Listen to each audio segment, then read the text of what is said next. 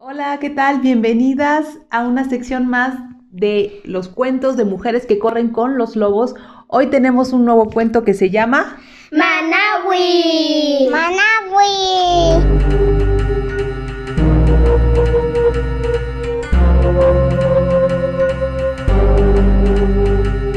Un hombre fue a cortejar a dos hermanas gemelas, pero el padre le dijo, no podrás casarte con ellas hasta que no adivines sus nombres. Aunque Manawi lo intentó repetidamente, no pudo adivinar los nombres de las hermanas. El padre de las jóvenes sacudió la cabeza y rechazó a Manawi una y otra vez.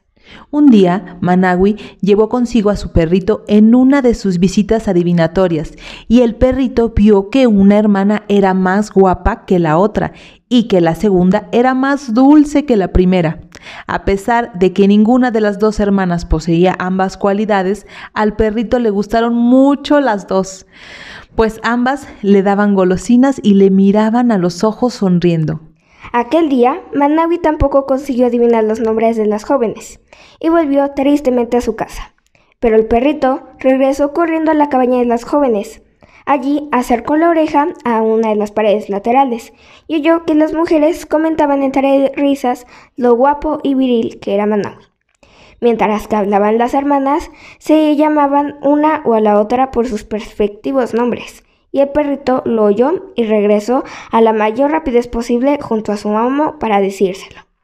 Pero por el camino, un león había dejado un gran hueso con restos de carne al borde del sendero, y el perrito lo olfateó inmediatamente. y sin pensarlo dos veces, se escondió entre la maleza arrastrando el hueso. Allí empezó a comerse la carne y a lamer el hueso hasta arrancarle todo el sabor.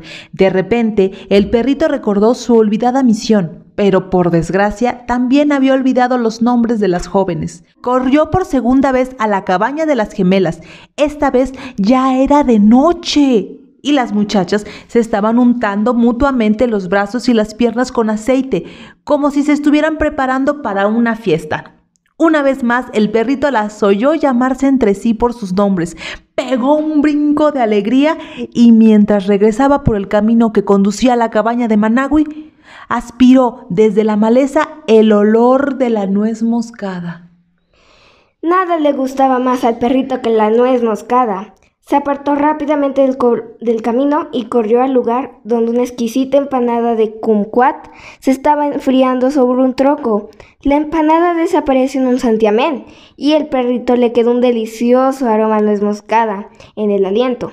Mientras trotaba casa con la tripa llena, trató de recordar los nombres de las jóvenes, pero una vez más se le habían olvidado. Al final, el perrito regresó de nuevo a la cabaña de las jóvenes y otra vez las hermanas se estaban preparando para casarse. Oh, no, pensó el perrito, ya casi no hay tiempo. Cuando las hermanas se volvieron a llamar mutuamente por sus nombres, el perrito se grabó los nombres en la mente y se alejó a toda prisa, firmemente decidido a no permitir que nada le impidiera comunicar de inmediato los dos valiosos nombres a Managui. El perrito en el camino vio los restos de una pequeña presa recién muerta por las fieras, pero no hizo caso y pasó de largo. Por un instante le pareció aspirar una arada de nuez moscada en el aire, pero no hizo caso y siguió corriendo sin descanso hacia la casa de su amo. Sin embargo, el perrito no esperaba tropezarse con un oscuro desconocido, que, saliendo de entre los arbustos, lo agarró por el cuello y lo sacudió con tal fuerza que poco faltó para que se le cayera el rabo. Y como fue lo que ocurrió mientras el desconocido le gritaba, Dame los nombres, dime los nombres de las chicas para que yo pueda conseguirlas. El perrito temió a desmayarse a causa del puño que le apretaba el cuello, pero luchó con todas sus fuerzas, gruñó, arañó con las patas y al final mordió al gigante entre los dedos. Sus dientes picaban tanto como las avispas. El desconocido rugió como un carabao, pero el perrito no soltó la presa. El desconocido corrió hacia los arbustos con el perrito colgando de la mano. Suéltame, suéltame, perrito, y yo te soltaré a ti, le suplicó el desconocido. El perrito le gruñó entre dientes. No vuelvas aquí, o jamás volverás a ver el mañana. El forastero huyó hacia los arbustos, gimiendo y sujetándose la mano mientras corría. y el perrito bajo medio renqueando y medio corriendo por el camino que conducía a la cabaza de de Managui, a la casa de Managui. Aunque tenía el pelaje ensangrentado y le, le, dolían mucho las mandíbulas, conservaba claramente la memoria de los dos nombres de las jóvenes, por lo que se acercó cojeando a Managui con una radiante expresión de felicidad en el rostro.